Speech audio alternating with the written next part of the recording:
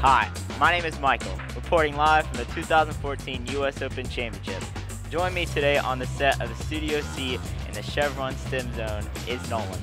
Hi, I'm Nolan, and thanks to Chevron and the USGA for giving us the chance to see many of the top-ranked golfers in the world play at Pinehurst. Players like Phil Mickelson, Ernie Els, Webb Simpson, the 2012 champion, and Justin Rose, the defending 2013 U.S. Open champion. Pinehurst number two will host both the 2014 U.S. Open and the U.S. Open Women's Open Championship. This will mark the first time in history that both tournaments will be played in the same year on the same course.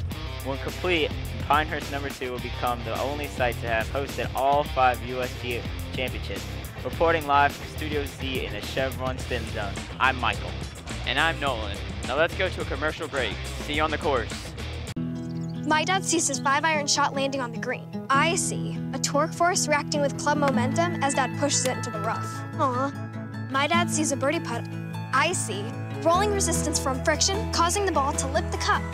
I wish more kids like me were into STEM science, technology, engineering, and mathematics. Did you know STEM jobs are growing faster and paying more than non STEM jobs? Chevron has invested nearly $100 million in U.S. education. Learn more at chevron.com.